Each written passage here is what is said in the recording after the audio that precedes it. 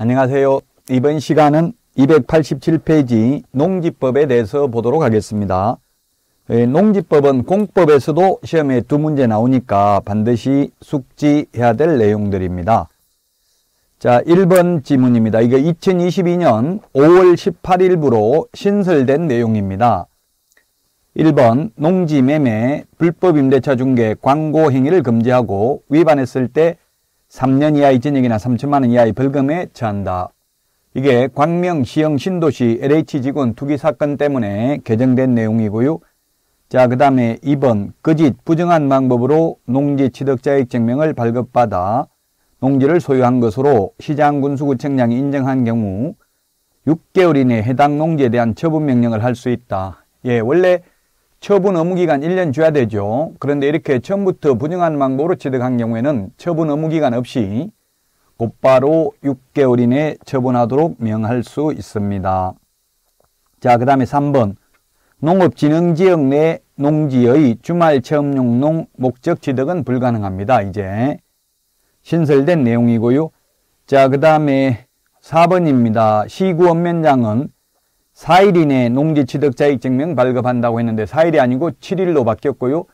농업경영계획서 제출하지 않는 경우는 4일이고요. 농지심의위원회 심의를 거쳐야 되는 경우는 14일 이내에 발급하도록 바뀌었습니다. 4번이 틀렸습니다. 그래서 5번 모자 건강보호 등을 위해서 농지 소유자가 소유농지를 위탁경영 또는 임대, 무상 사용하게 할 수 있는 부득이한 사유로서 임신 중이거나 분만 후 6개월 미만인 경우를 추가했다.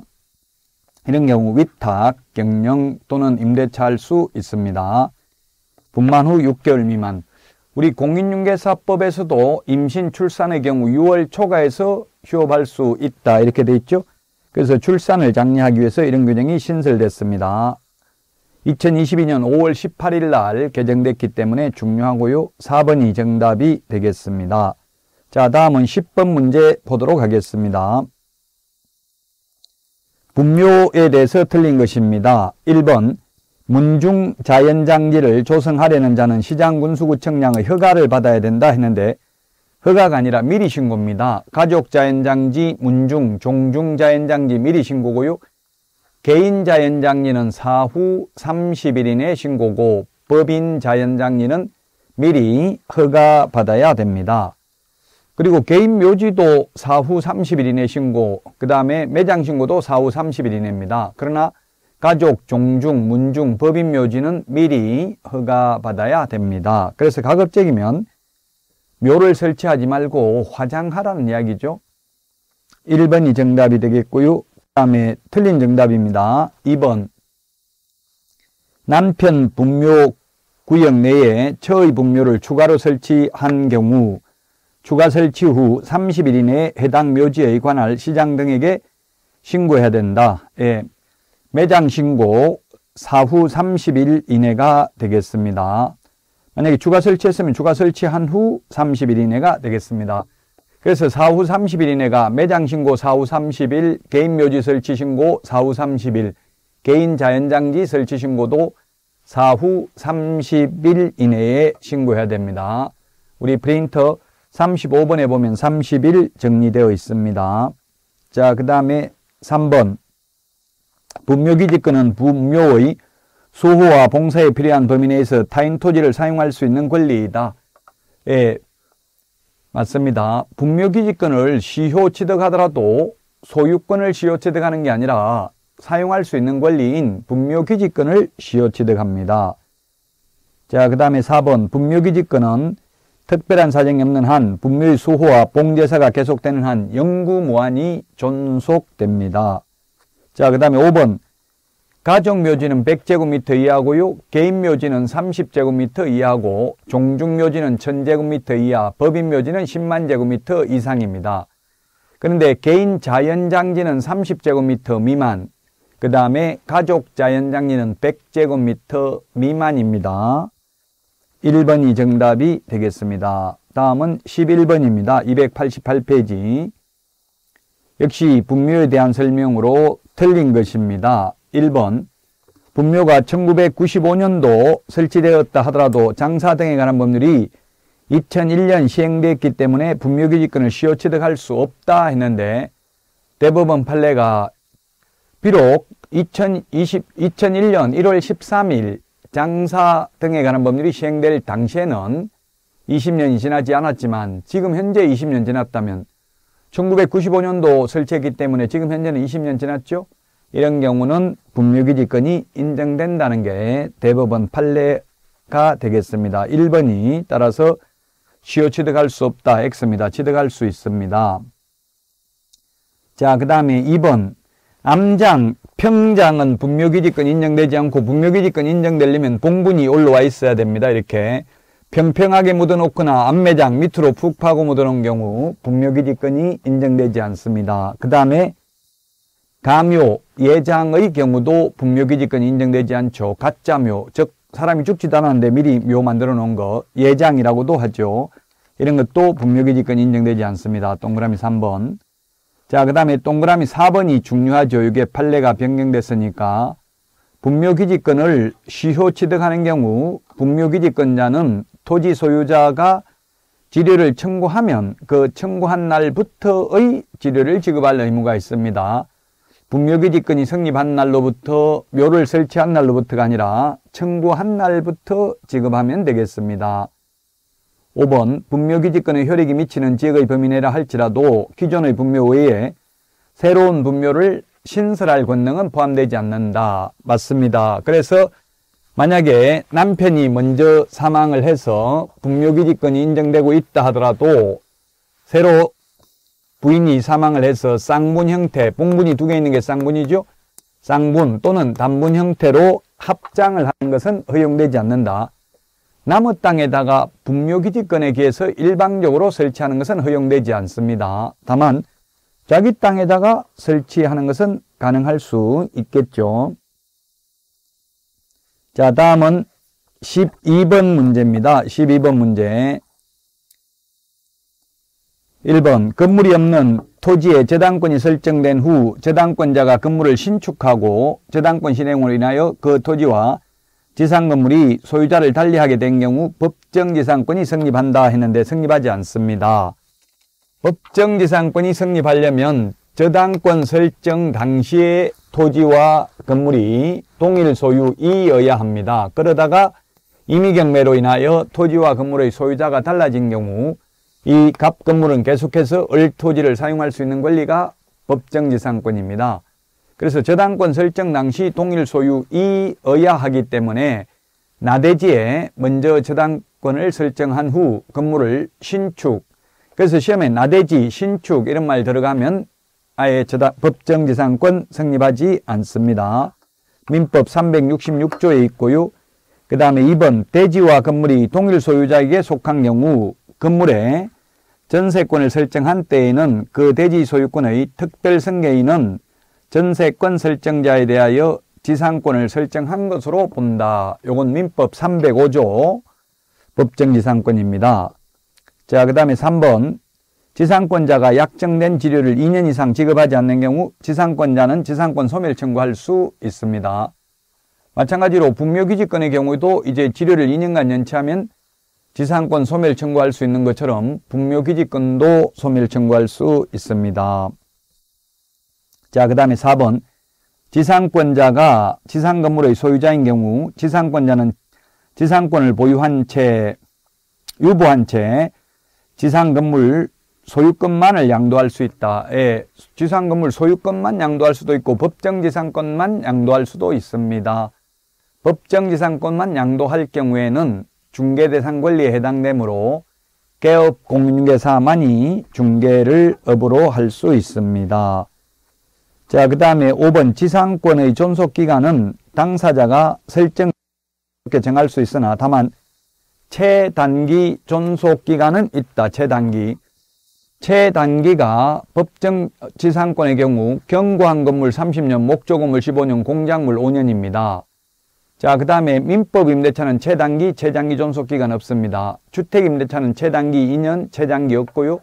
상가는 최단기 1년, 물론 최장기는 없고 농지 임대차의 경우에는 최단기가 3년이고요. 그 다음에 단연생 식물 재배지인 경우 또는 임차인이 비닐하우스 등, 비닐하우스 등을 설치한 경우에는 최단기가 5년이 되겠습니다. 그리고 민법 전세권의 최단기는 건물 전세권의 경우 최단기 1년이고요. 최장기는 10년이 되겠습니다. 우리 중개실무에 최단기 존속기간에 대해서 출제가 됐습니다.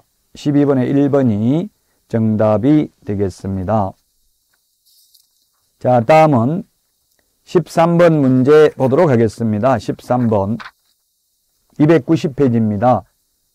농지법에 대한 설명입니다. 틀린 것은 했는데 1번 경매로 농지를 매수하려면 매수 신청 시 농지 취득자의 증명을 제출해야 된다 했는데 매수 신청 아니라 매각 허가 결정기일까지 농지 취득자의 증명을 제출해야 됩니다. 따라서 1번이 틀린 정답이 되겠습니다. 자, 그 다음에 2번 개인이 소유하는 임대 농지의 양수인은 농지법에 따른 임대인의 지위를 승계한 것으로 본다. 예를 들면 3년 임대차 계약을 체결했는데 1년 만에 논밭을 팔아먹었다 하더라도 매수인은 양수인은 예, 매도인의 지위를 승계하기 때문에 최단기 존속 기간 주인 바뀌어도 계속 세입자는 농사 지을 수 있다는 이야기입니다. 자, 그 다음에 3번 농지 전용 협의를 마친 경우에는 농지 취득자의 증명 받을 필요 없습니다. 예, 전용 협의 동그라미 하시고요. 협의의 경우는 국가, 지자체, 공공기관, 공공단체만 협의를 할 수 있기 때문에 협의를 한 경우 농지 취득자의 증명 받을 필요 없습니다. 그러나 전용 신고, 전용 허가를 받았거나 그 다음에 주말 체험용 농, 학교가 실습용 농지로 취득하고자 하는 경우에는 농지 취득자의 증명 받아야 됩니다. 물론 농업경영계획서는 제출하지 않습니다. 전용 허가를 받은 경우 등은 자, 그 다음에 4번 농지를 취득하려는 자가 농지에 대한 매매계약을 체결하는 등으로 농지에 관한 소유권 이전 등기 청구권을 취득하였다면 농지 취득자익 증명 발급 신청권을 보유하게 됩니다. 보유하게 되죠. 맞고 5번 주말 체험용 농을 목적으로 농지를 소유하려면 세대원 전부가 소유하는 총 면적이 전제곱미터 미만이어야 한다. 농지법 중에서 우리 중개실무에 가장 많이 출제된 지문이 바로 이 5번 지문입니다. 세대원 총 면적입니다. 세대원 각각이 아니라 합산입니다. 세대원 전부 합산한 면적이라는 점을 주의하셔야 되겠습니다. 자, 다음은 291페이지 14번입니다. 분묘기지권 틀린 것을 모두 고른 것은 했는데 기억의 장래의 묘소, 가묘, 예장은 분묘에 해당하지 않고요. 맞습니다. 그 다음에 니어는 분묘의 특성, 특성상 타인의 승낙 없이 분묘를 설치한 경우에도 즉시 분묘기지권을 취득한다. 즉시가 아니라 20년간 평온 공연하게 점유하고 봉제사를 해야 됩니다. 그래서 X고요. 디귿은 평장되어 있어서 객관적으로 인식할 수 있는 외형을 갖추고 있지 아니한 경우 분묘기지권 인정되지 않는다. 예, 그렇습니다. 이렇게 봉분이 위로 불룩하게 올라와 있어야만 분묘기지권이 인정됩니다. 평장, 암장의 경우에는 인정되지 않습니다. 리을, 분묘기지권의 효력이 미치는 범위는 분묘기지 자체에 한한다. X입니다.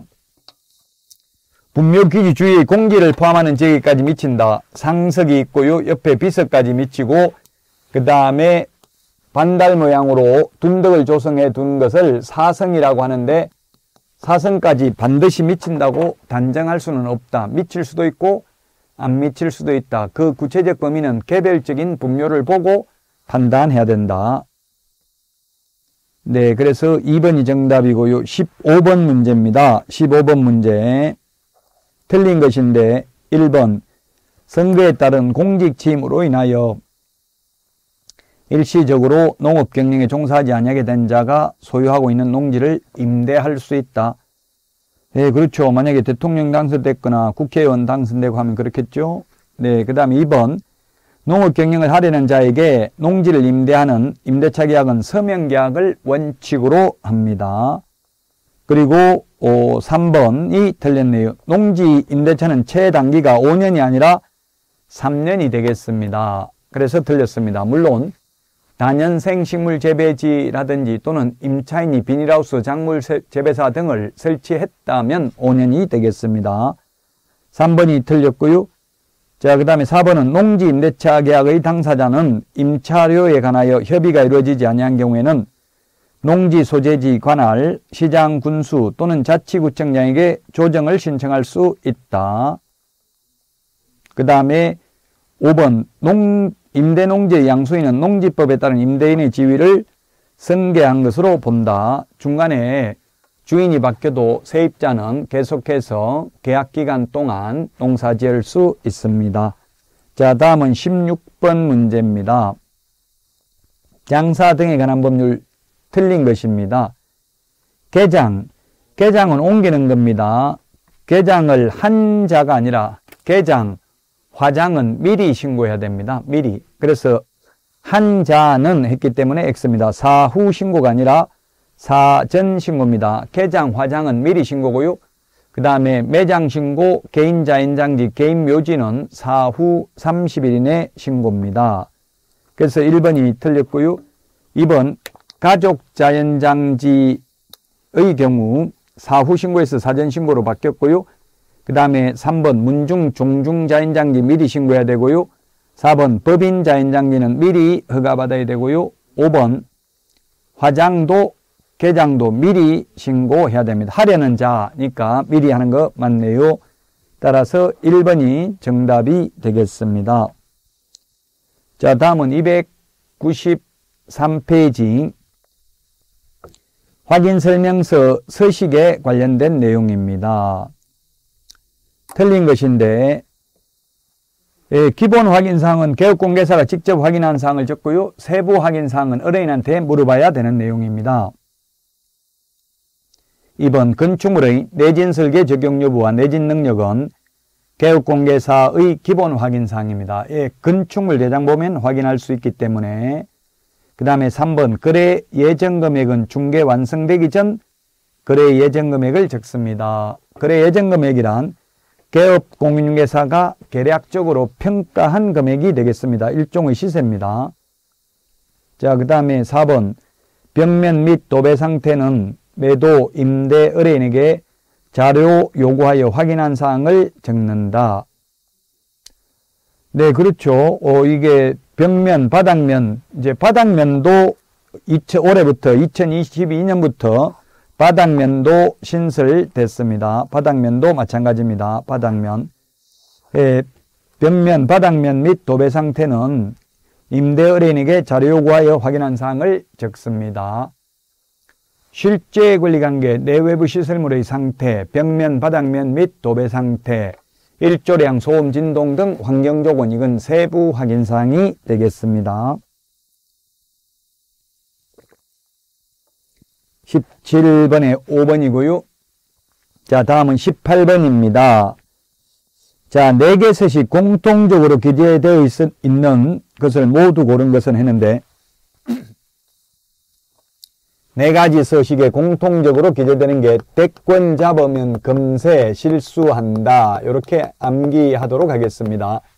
대상 물건의 표시, 권리관계, 거래 예정금액, 취득 관련 조세, 실제 권리관계, 중개, 보수, 산출, 내역이 되겠습니다. 자, 그래서 공통적 기재사항, 권리관계, 기업, 공통적 기재사항이네요. 비선호 시설은 1의 서식, 3의 서식에만 기재하고요. 거래 예정금액 공통적 사항이고요. 미열의 환경조건은 1의 서식에만 기재하고요. 미염, 실제 권리관계 모든 서식에 기재되네요. 그래서 3번이 정답이 되겠습니다. 자, 다음은 19번 문제입니다. 개업공개사가 조사 확인하여야 할 사항이 아닌 것입니다. 즉, 이 말은 기본 확인사항이 아니고 세부 확인사항인 것은 이 말이죠. 기본 확인사항은 개업공개사가 직접 확인해야 되고요. 세부 확인 사항은 의뢰인에게 물어봐야 되는 나, 내용이니까요. 답은 1번이네요. 단독 경보형 감지기 설치했는지 여부는 그 집에 들어가 봐야 알 수 있으니까 세부 확인 사항입니다. 그래서 기본 확인 사항이 아닙니다. 1번이 기본 확인 사항이 아니고요. 물론 아파트의 경우에는 단독 경보형 감지기 존재 여부를 기재하지 않습니다. 아파트를 제외합니다. 경비실, 비선호시설, 주차장, 도로의, 도로와의 접근성. 3, 4, 5번은 이게는 입지 조건이죠. 어, 그래서 경비실 존재 여부도 주인한테 안 물어봐도 알 수 있는 내용이 되겠습니다. 따라서 1번이 정답이 되겠습니다. 자, 여기까지 하고 쉬었다가 하도록 하겠습니다.